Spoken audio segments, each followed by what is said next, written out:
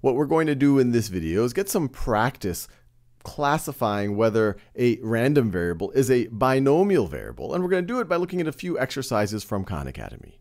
So this says a manager oversees 11 female employees and 9 male employees. They need to pick 3 of these employees to go on a business trip. So the manager places all 20 names in a hat and chooses at random. Let x equal the number of female employees chosen. So they're going to do 3 trials. And on each of those trials, you could say success is if they pick a female employee. And then the random variable x is the number of females out of those three. Is x a binomial variable? Why or why not? So pause this video and see if you can work through this on your own. All right, now let's go through each choice. Choice A says each trial isn't being classified as a success or failure, so x is not a binomial variable. I disagree with this. Each trial is being classified as a success or failure. It's either going to be female or not. And since we're counting the number of female employees, if in a trial we pick a female, that would be a success. So each trial is being classified as a success or failure. So this one over here isn't true. There is no fixed number of trials, so x is not a binomial variable. There is a fixed number of trials. They're doing three trials. They're picking three hats, three names out of a hat. The trials are not independent, so x is not a binomial variable. So this is interesting. So for example, trial 1, what's the probability of success?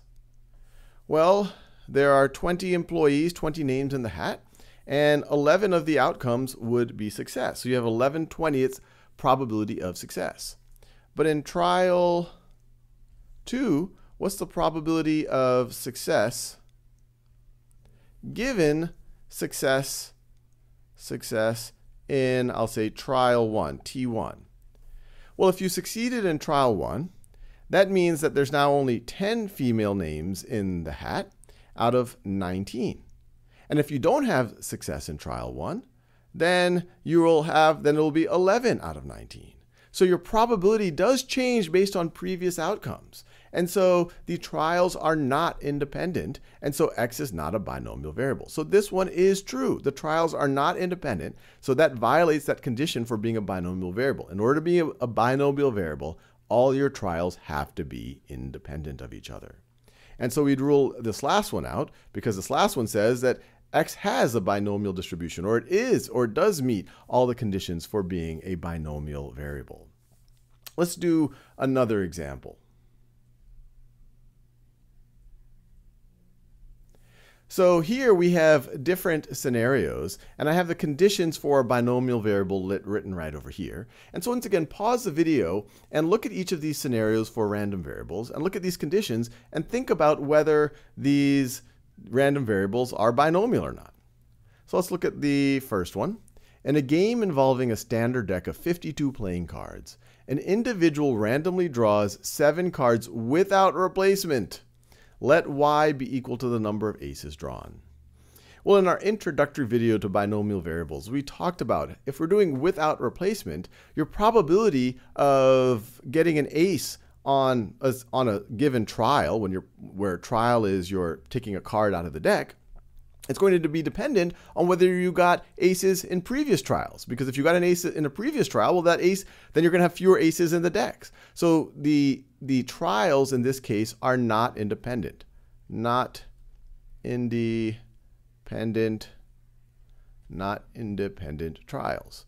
Now, on the other hand, if on every trial you looked at whatever card you got and put it back in the deck, then they would be ind independent trials. The, tri the probability of getting an ace on each trial would be the same, but not when you have without replacement. So this is not, not binomial right over here because you don't have independent trials. The second scenario, 60% of a certain species of tomato live after transplanting from pot to garden. Eli transplants 16 of these tomato plants assume that the plants live independently of each other. So whether one plant lives isn't dependent on whether another plant lives.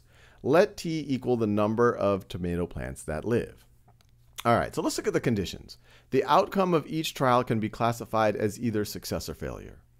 So each trial over here is one of the tomato plants, and we have 16 of those trials, and success is if the tomato plant lives, and failure is if it dies.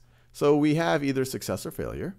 each trial is independent of the others. They tell us the plants live independently of each other. So whether or not a neighboring plant lives or dies doesn't affect whether the plant next to it lives or dies. So each trial is independent of the others. There's a fixed number of trials. Yes, we have 16 right over there. The probability P of success on each trial remains constant.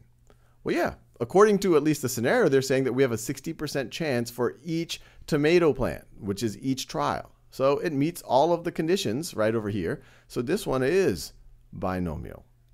Now let's look at this third scenario.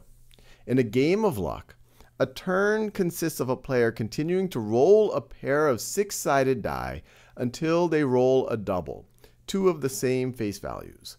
Let x equal the number of rolls in one turn. So you're going to keep rolling until they roll a double.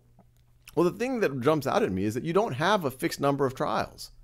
Not fixed number of trials. You could say each trial, each roll is a trial. Success is getting a double, which has a fixed probability. Whether or not you get a double on each trial is going to be independent of the previous roll. So it meets all the other constraints, but it does not meet that there's a fixed number of trials. You're going to keep someone, there's some chance you might have to roll uh, 20 times you or uh, 200 times or, or, or, or who knows however many times until they roll a double.